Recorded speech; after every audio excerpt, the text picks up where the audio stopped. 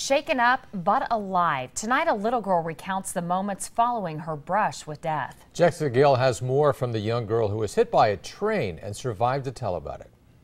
10 year old Hannah Dreher clings tightly to the doll her nurses gave her. It helps her process what has happened. I remember everything after it, but I don't remember being hit by it. Hannah was hit by a train on the tracks close to her house Sunday. She was picking up a birthday gift for her cousin. The railroad crossing arms were down at the time, but Hannah thought the coast was clear, seeing as the train on the tracks had stopped. It was only seconds later, Hannah says, a second train came out of nowhere. Hannah was knocked off her feet, suffering an open skull fracture. That's where part of the skull is dented. Think of a ping pong ball after you press in on it. She's walking and she's talking. I'm just, I'm seriously just amazed. Amazed and humbled. Tracy Dreher, Hannah's mom, says they have both learned a very valuable lesson that no matter how busy or anxious we may be, To say, wait a second, maybe I should just wait for this train.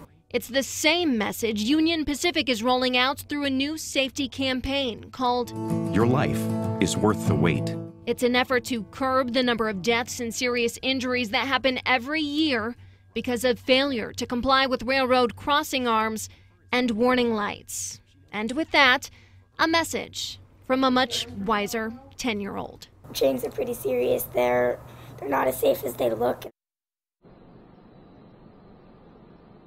Hannah was released from the ICU today. She's currently being monitored for any brain bruising. Now, still no word yet on how long she'll have to stay here at Nebraska Medicine, but the good news is doctors do anticipate she'll make a full recovery. Well, that's great to hear, Jessica. And for a 10 year old, she seems to be handling this all really well. She is. In fact, her biggest concern was that they had to shave off some of her hair for surgery. She says she's been trying to grow that hair for six whole years. Mallory, a very big deal when you're 10 years old. It certainly is. Thank you. That's Jessica Gill reporting live tonight. Great that she's okay, though. Oh, what a doll. amazing. And so well spoken as well. Yeah.